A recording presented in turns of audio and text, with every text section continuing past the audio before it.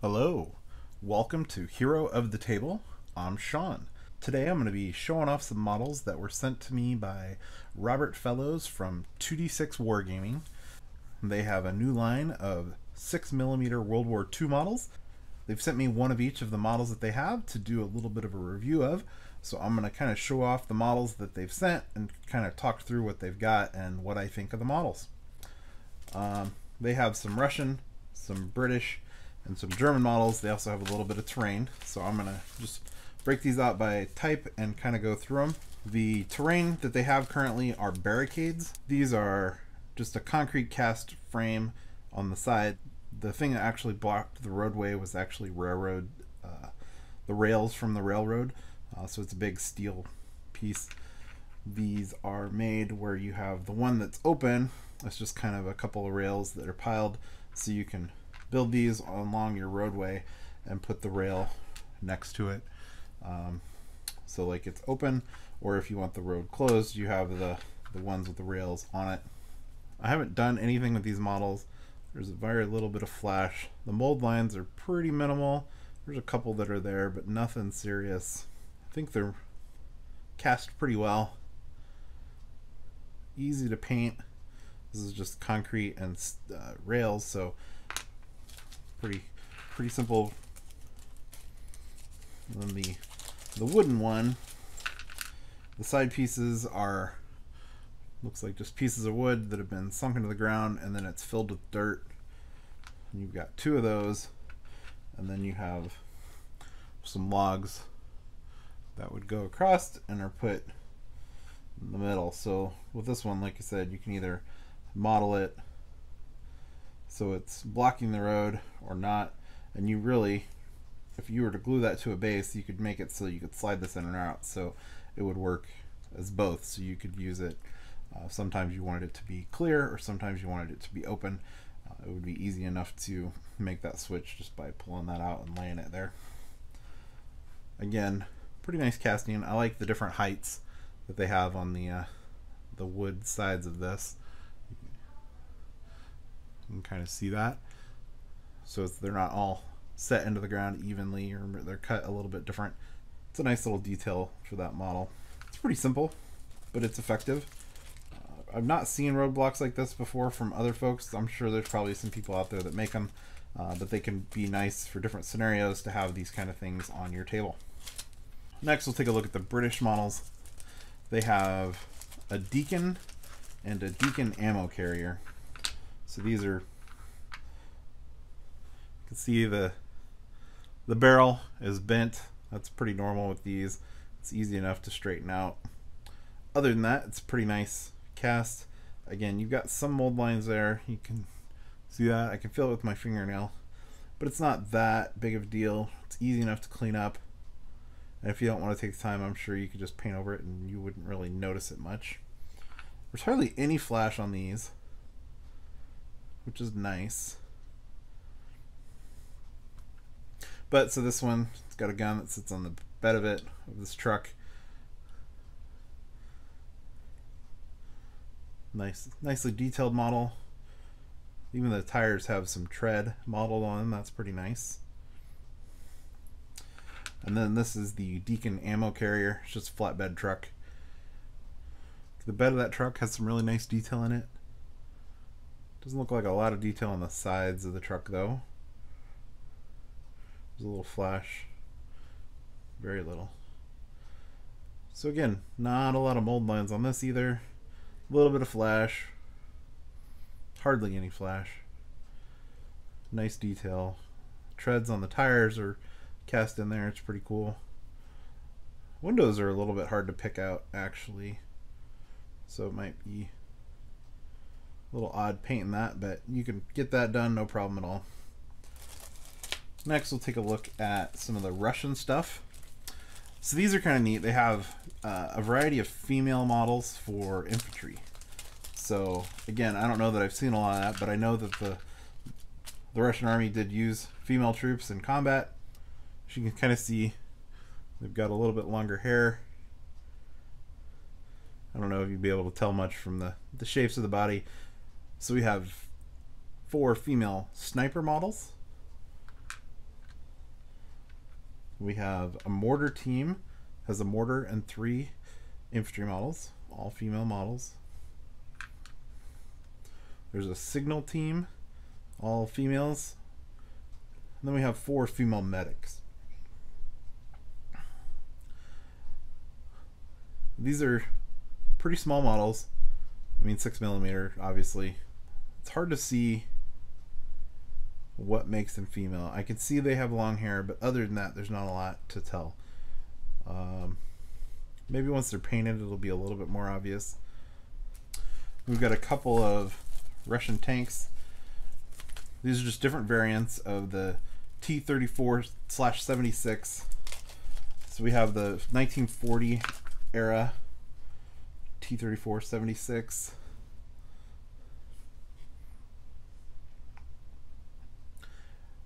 It's a nicely detailed model.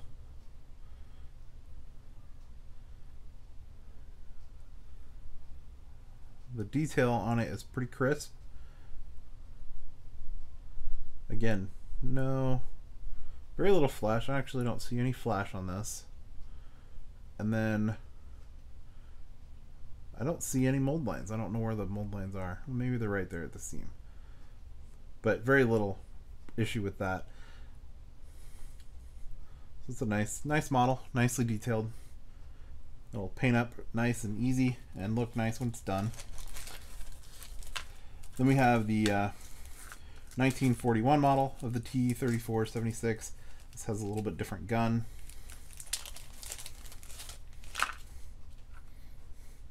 So let's see. We'll look at these side by side.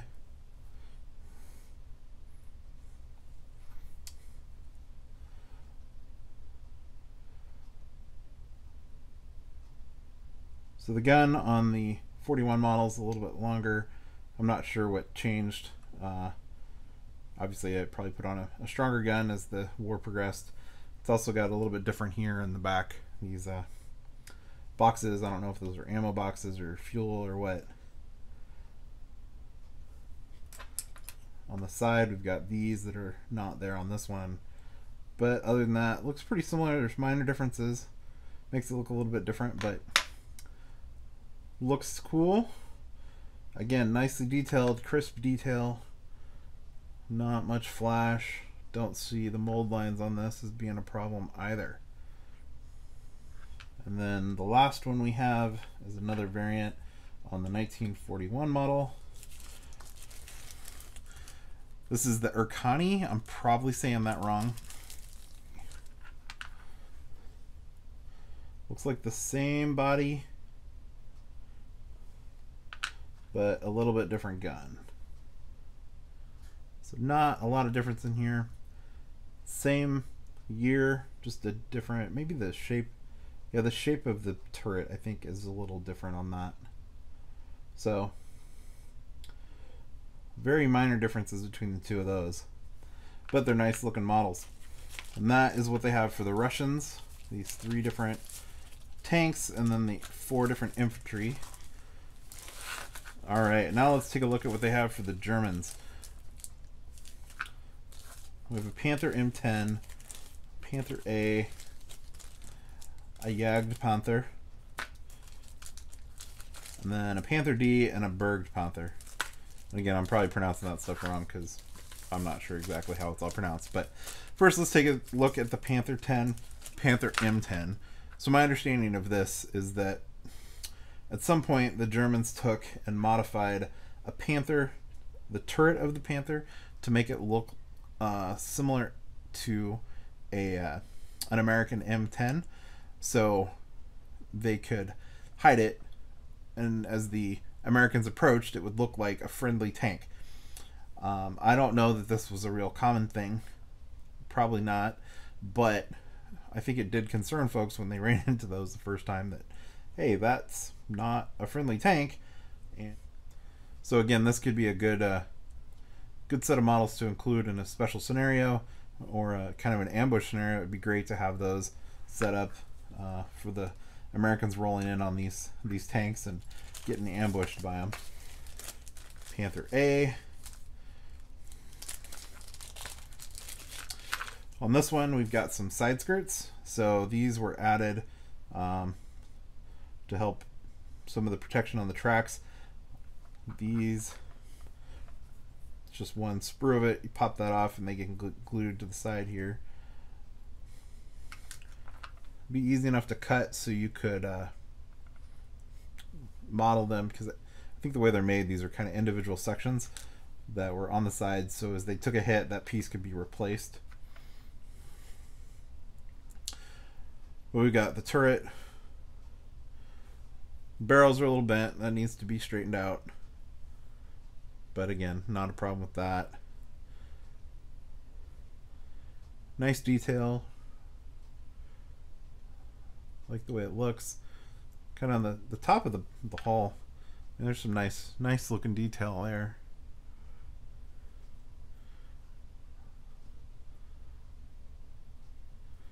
No flash, really. Don't see mold lines.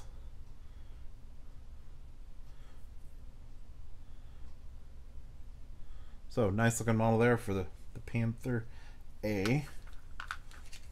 Go to the Panther D and the Berg Panther. Panther D is just a later model of the Panther. Different gun on it.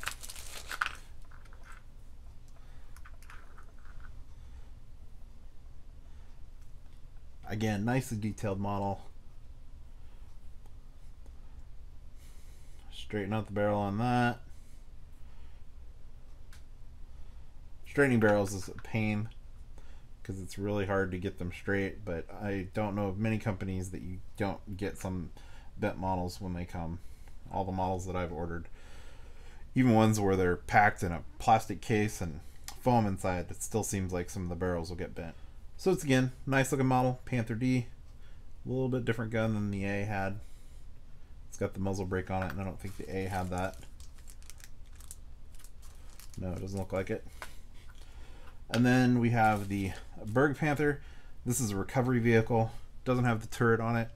Um, use this to drag damage tanks back that could be repaired or whatever. Pull stuff out of the way. Just a general use recovery vehicle. Again, nicely detailed. I like the cover on that center. It's kind of neat. But yeah, nice. Again, probably not used in all your games, but could be, uh, you know, if you've got a mission where you're going out to recover some vehicles, or just kind of have some uh, support units on the table sometimes. It'd be a nice model to include. And then we have a Jagdpanther.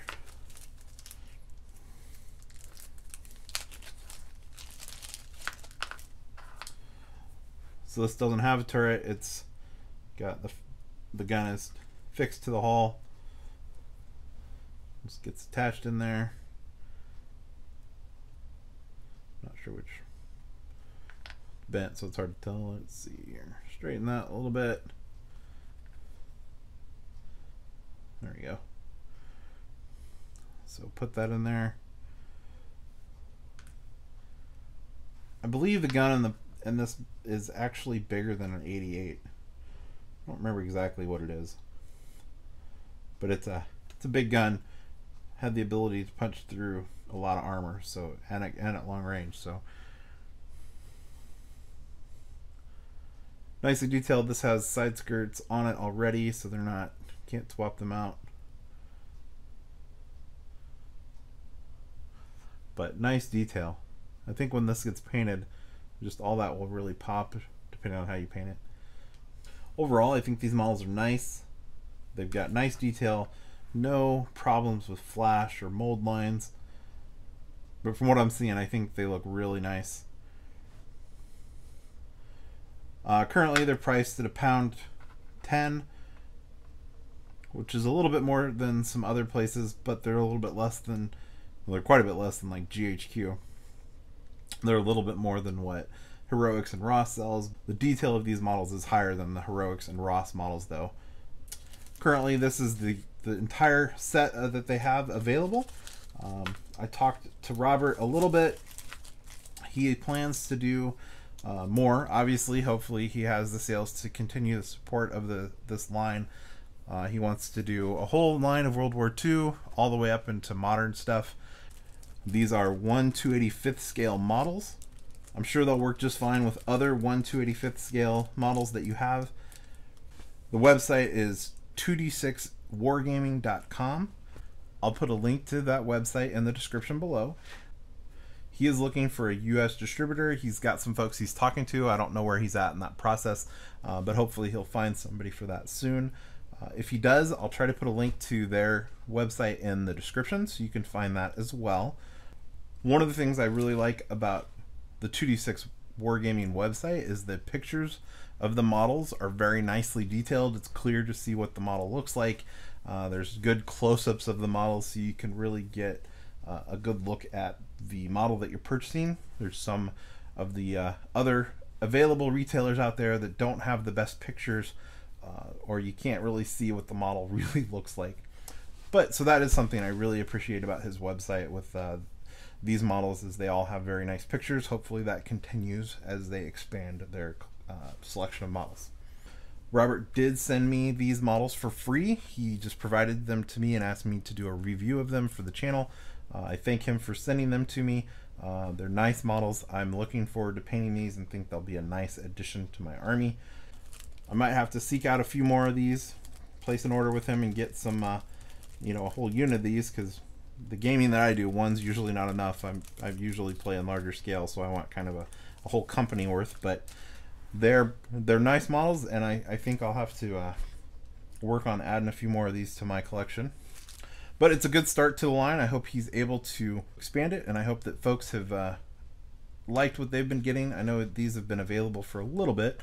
If you've ordered any of these models from 2D6 Wargaming, let us know what you think down in the comments. Good or bad, it's always good to hear both sides. If you like this video, please give it a thumbs up. If you want to see more videos like this and the other projects that I work on, you can subscribe to my channel. Be sure to click the bell so you get notifications when I post new videos. If you have any questions or comments, you can put it in the comment section below. Thanks for watching.